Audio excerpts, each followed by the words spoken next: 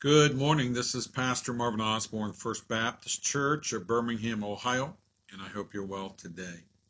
We're looking at 2 Timothy chapter 3.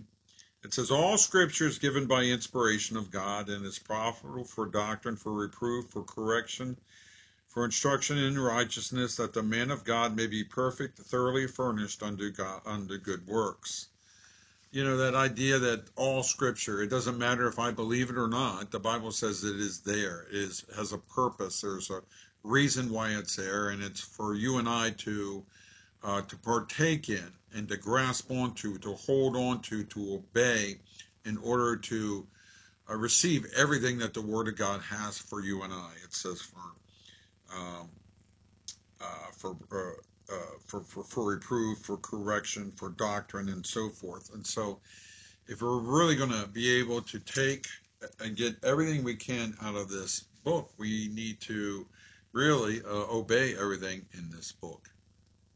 It used to be an old saying back in the 70s.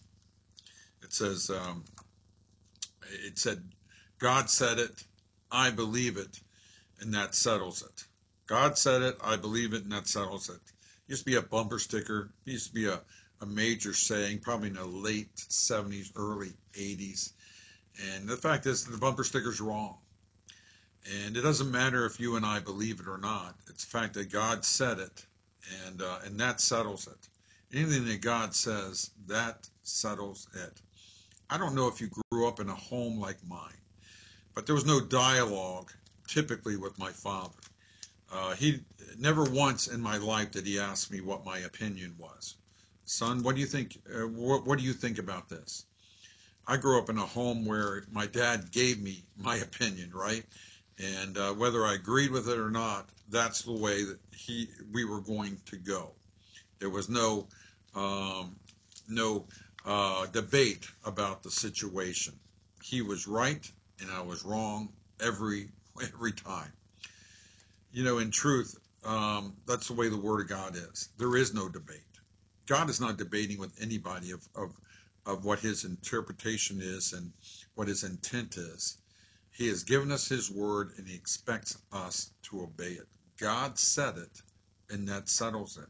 That includes what's um, what you what you uh, what you like and also what you don't like. It includes what uh, what offends other people and yet, and yes, what offends us as well. Because when we read the Word of God, the Word of God is like a mirror that reflects our heart before God. It reflects our sinfulness. And uh, the more I stay out of the Word of God, the uh, the better I look. But the more I look into the Word of God, the, the the more sinful I am. I don't know if that's true about you, but that's certainly true about me, because I'm not everything I should be. And I'm sure that's true of you as well.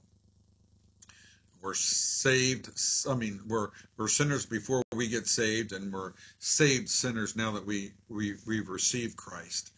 Uh, the only difference is that our sins have been forgiven. We can confess our sins, and He is faithful and just to forgive us our sins and to cleanse us from all unrighteousness. The fact is, it doesn't matter what your opinion is on the Word of God. People say, "Well, I don't believe. I don't believe that homosexuality is a sin." It really doesn't matter what you believe. What does the Bible say?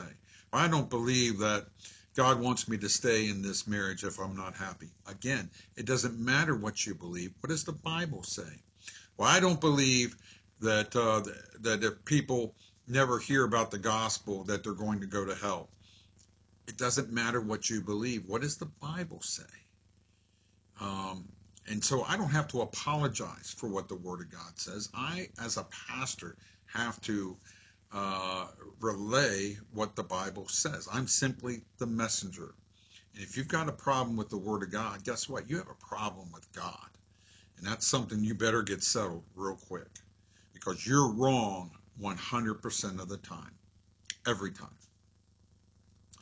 God said it, and that settles it. Amen. This is Pastor Marvin Osborne saying, God loves you, and I love you as well. I'll talk to you soon.